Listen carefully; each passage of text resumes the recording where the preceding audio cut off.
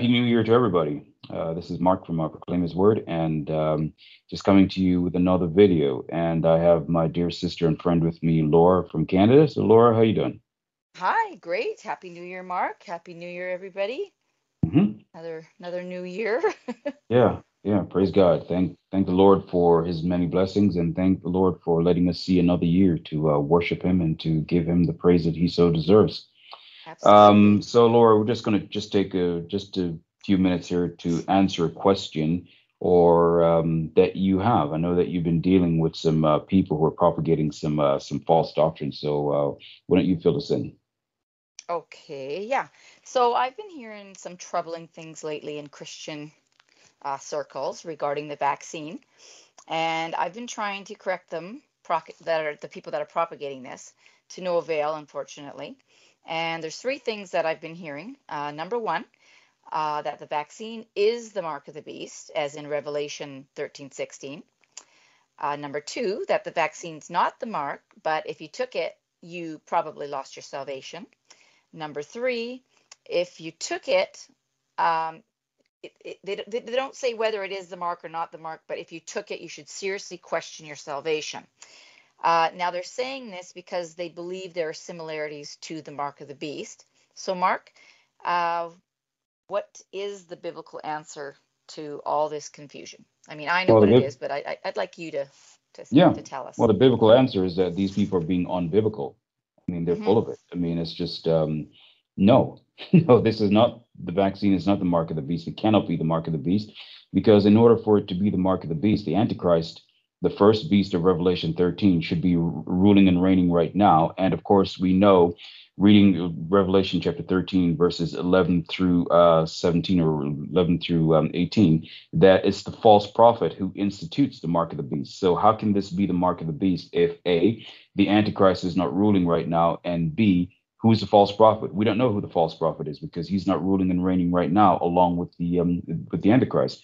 We're also told, of course, that the Antichrist, um, you know, he's going to there's going to be some kind of assassination attempt on his life, and it's going to seem as if he died, but he will rise from the dead. And we're also told in Revelation chapter 13 that the whole world will marvel after him and will worship the beast. We're told that he is going to be um, speaking great blasphemies, of course, against God. Uh, we're going. We're told that he's going to be making war with the saints um, and those who dwell upon the earth. And so, is that taking place right now? No, no. The Antichrist is not ruling and reigning right now. Um, and of course, we're also told in Revelation chapter 13, verses 11 through um, 18 you know we're told we're told that the, the false prophet exerciseth all the power of the first beast you know he causes the he causes the earth to um to worship the first beast you know he doeth great wonders and make it fire make it fire to come down from heaven you know we're told that he deceives the whole world and he does miracles and he we're told that he um, causes the world to make an image to the beast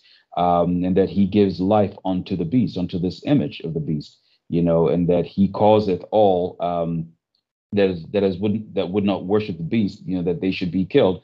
And of course, in Revelation chapter six, um, 13, verse 16, it says, And he causeth all, both small and great, rich and poor, free and bond, to receive a mark in their right hand or in their foreheads, and that no man might buy um, or sell save he that hath the mark or the name of the beast or the number of his name. Is that taking place right now? No no, it's not taking place. So this cannot be, so the vaccine cannot be the mark of the beast. I mean, the mark of the beast is going to be a worldwide um, event. Every single person on the face of the earth will be compelled to take the mark.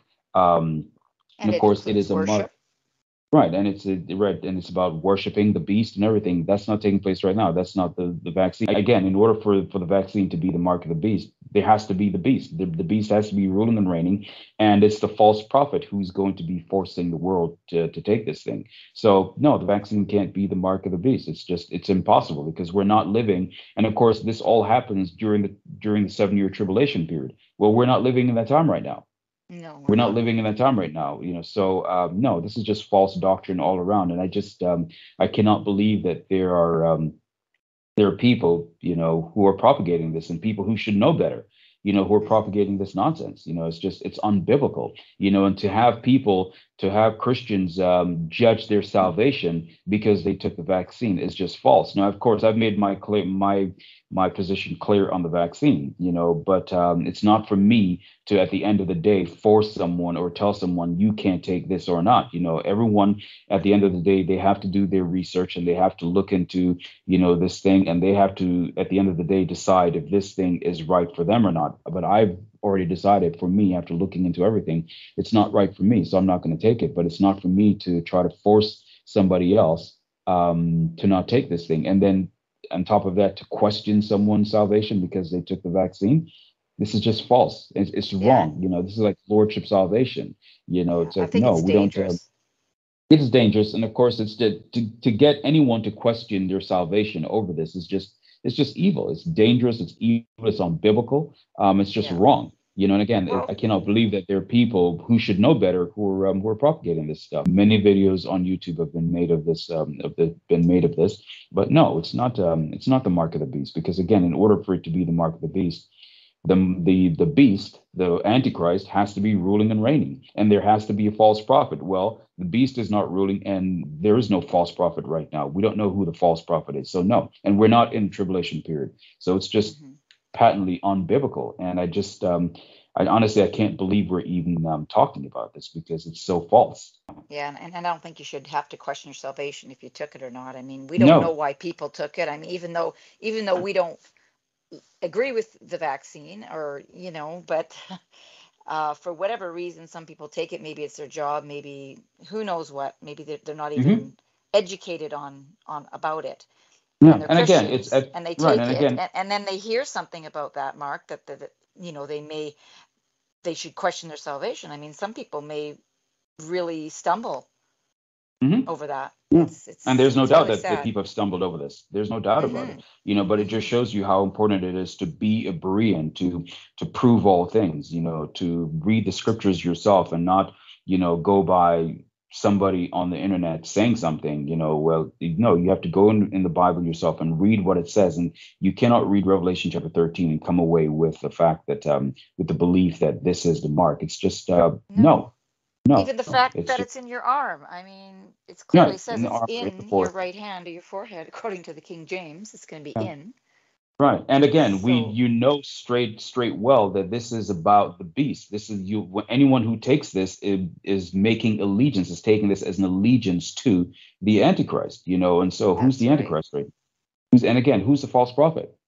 The Antichrist and the false prophet are not here. So I mean, the very fact that they're people who are actually propagating this shows their absolute ignorance about the Bible, or you know what they're doing. I'm sure a lot of people who are propagating this are maybe spiritualizing it and or allegorizing it and coming up with all sorts of um, all sorts of um, nonsense. But no, if you take this literally, then no, it's not the um, it's not the mark of the beast. And, and, as I said, this is a worldwide thing. And the fact of the matter is that, like here in America, there um, there's certain places like I know here in LA County where I live, um, you know, you can't you can't go into uh, you can't eat dine in a restaurant, but you can order out. You can't go to um, sports events and stuff like that if you're not vaccinated. Um, but um, same here. You know, but uh, the fact of them, but then when you go in other parts of the country, like in Florida and many of the red states, you know, they're wide open. They're not stopping anybody from doing anything. You don't have to be vaccinated to go yeah. into restaurants or whatever. They ask you to be masked up, that, but that's about it, or whatever. So again, this is going to be a worldwide thing. No one is going to be exempted from it. And so the very fact that you have all of these different, um, like here in America, all of these different rules and regulations based on where you live shows that it is just not. Again, this is going to be when the mark of the beast comes, people will not have any doubt as to what it is because, again, Antichrist is going to be ra- ruling and reigning, and um, and the false prophet is going to be his biggest cheerleader. You know, pointing the world to him and telling the world to worship him. You know, so um, and we're not living I mean, in that time right now. And of course, we do know that all of the all of what's happening, what precursor. we do know with um, this vaccine, is a precursor. We see that right. everything, the stage is being set right now. And that's exactly what it is. A stage is being set. It's being set. We are getting a picture as to what things might look like during that time. And I, of course, I believe that we're very, very, very close to that time. But, um, but we're not there yet.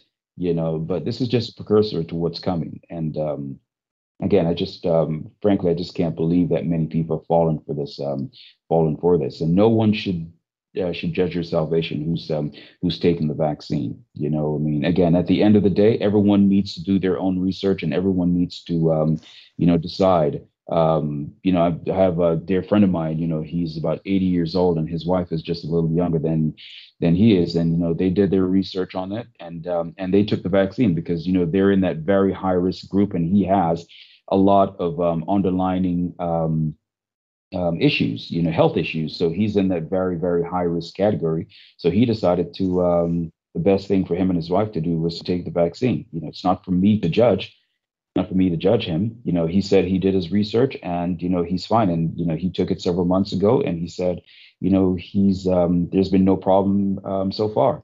You know, but um, at the end of the day, it's not for me to, um, you know, not for me to be his judge in this area.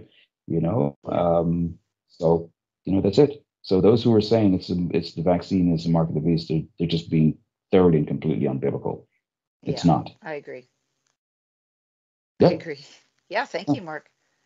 that's that's it. You know, and um, again, before I end, let me just say that um, you know this is a new year, and I never like to start the new year off unless I give the gospel. So you know, to those of you who are listening to this, you know, if you're not saved, if you've not believed on the Lord Jesus Christ, you know, we would call on you to to look to the Lord Jesus Christ and be saved. You know, um, you have to believe. You know, the Holy Spirit is in the world right now, convicting the world of sin. Everybody knows that they're a sinner. You know, and the Lord Jesus Christ, the sinless Son of God, He came to this earth to rescue us, to free us, to um, to forgive us of our sins, and He did that when He died on Calvary's cross two thousand years ago, and He was buried, and three days later He miraculously rose from the grave, and He is now seated at the right hand of the Father. And anyone, any single person on this earth who comes to the cross and who believes on the Lord Jesus Christ in simple faith, believes that Jesus Christ died on the cross for their sins, was buried, and rose from the grave victoriously. If you believe that in simple faith, with a childlike faith, the Bible says you will be saved. And you're saved apart from any works. There's nothing that you can do to save yourself. There's no works that you can do. You, we're simply called to believe, nothing more, nothing less. Just believe what Jesus Christ did for you on Calvary's cross. And if you do that, again, the Bible says you will be saved. You know, um, you know, the Bible talks about you need to repent, and that is you need to change your mind. You need to go from unbelief to belief. You're you're unbelieving right now. You don't believe what Jesus Christ um, did, but the Bible says you need to change your mind and now believe that He came to this earth and He died for you, and then He rose victoriously from the grave. And if you believe that in simple faith, once again, you will be saved. Whoever you are, whether you be black, white, Asian, Latino, doesn't matter. Rich, poor, doesn't matter. If you simply trust on Christ, you will be saved. And that's it. Yeah. Good. All Thank you. Mark. No problem, Laura. And um, God bless. And uh, we'll talk soon. All right. Yeah, I hope so. Okay, then. Okay. Take care. Bye. Bye-bye. Yeah.